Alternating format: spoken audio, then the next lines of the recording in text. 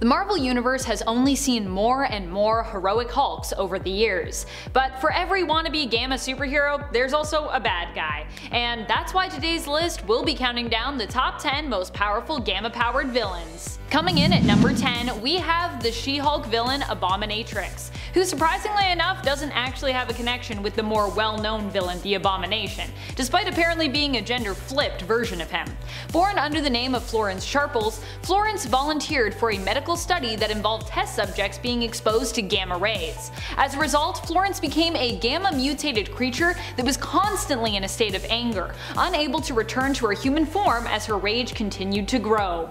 Eventually, she would come into conflict with She-Hulk and nearly destroy Las Vegas during their ensuing fight, showing that the Abominatrix is not to be messed with. Coming in at number 9, we have Burt Horowitz, aka the super genius villain known as Omnibus.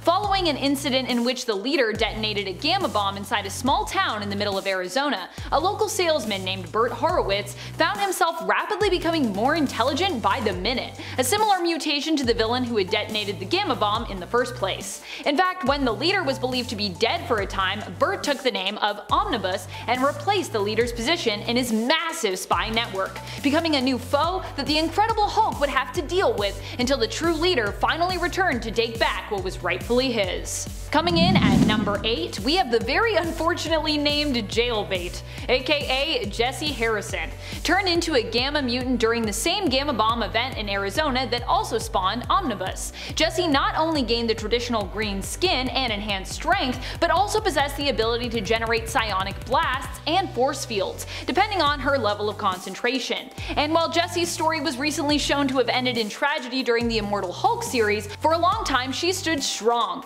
as one of the guardians of the leader's Freehold Paradise, another green Goliath for the Hulk to have to battle. Coming in at number 7, we have the evil Patchwork, a serial killer that somehow manages to be even more depraved than Carnage and Cletus Kasady combined.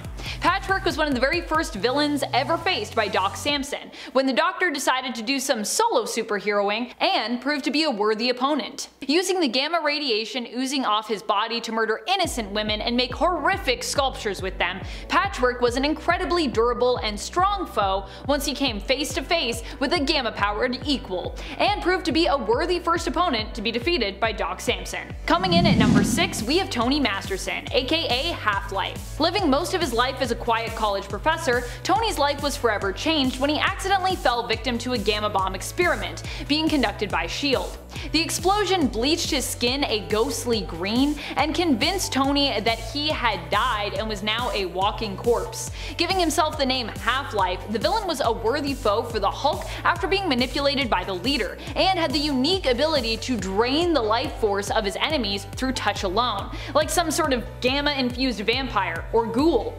This meant that the Hulk had to be a bit more creative when it came to fighting him, as punching Half-Life would only wind up giving him more power. Coming in at number 5, we have Thaddeus Thunderbolt Ross, aka the Red Hulk. Now, we did also have this guy on our list about most powerful Gamma heroes, but considering how his story started out, he definitely also counts for the villain list.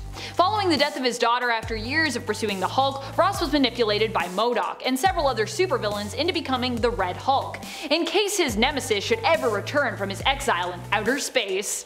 Following the Hulk's return and defeat, the new Red Hulk began causing damage across the globe, even getting into a fight with Thor on the moon and causing an earthquake in San Francisco from the sheer force of him jumping back to Earth. All in all, the Red Hulk definitely caused some major destruction. Coming in at number 4 we have Emil Blonsky, aka Abomination. A Croatian spy during the Cold War undercover on the same military base where Bruce Banner became the Hulk, Blonsky was the victim of a second Gamma experiment when he foolishly activated the reactor on his own. Transformed into a green creature with claws even deadlier than the Hulk, Blonsky took the name Abomination once he realized he could not return to human form, and his days as an incognito were over.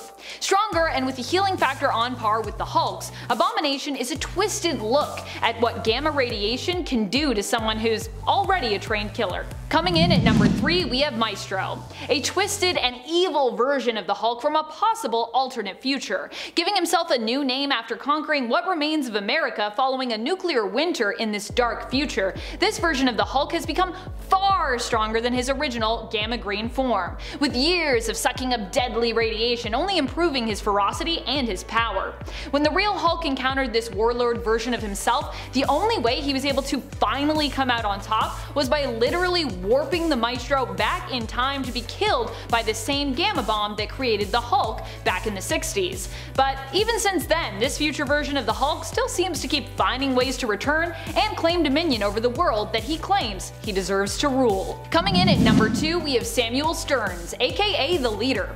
Many people throughout the Marvel universe can claim to be geniuses, but only the Leader has the unbelievably tall skull to seemingly prove it.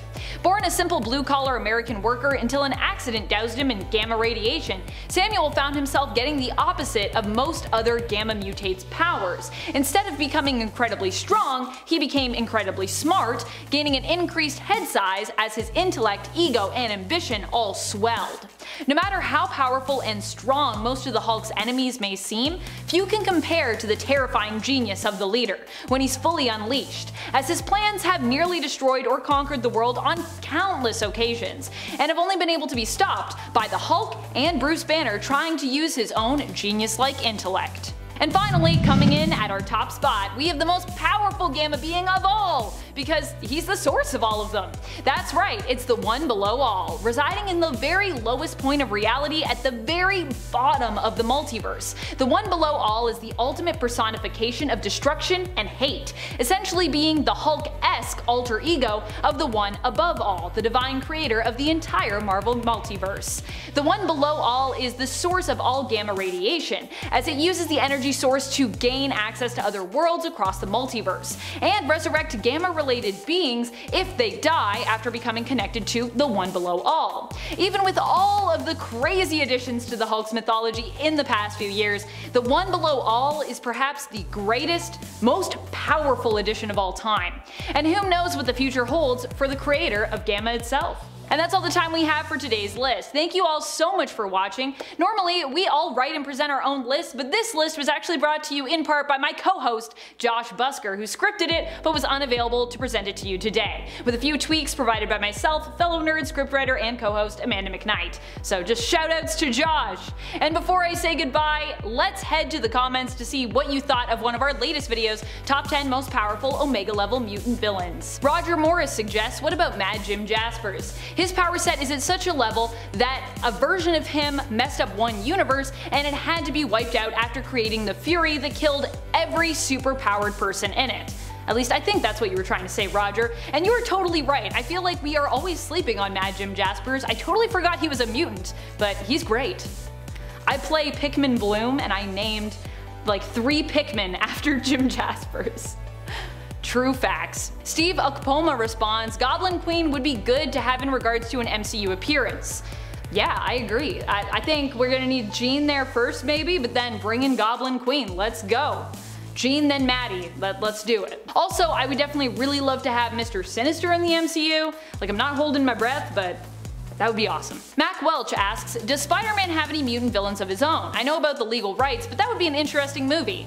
Uh, let's see, Spider-Man definitely has some evil mutated spider-like folks, um, and just, you know, spider mutated folks in general. I would say if I had to pick one villain who was like kind of a mutant villain for him, I would say Sauron. He's not really a mutant, he's like a mutate, but still, Sauron is up there.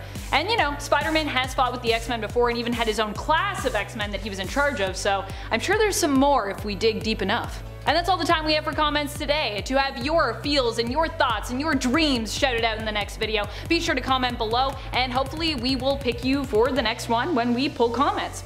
We'll see you next time, but until then, you stay nerdy YouTube.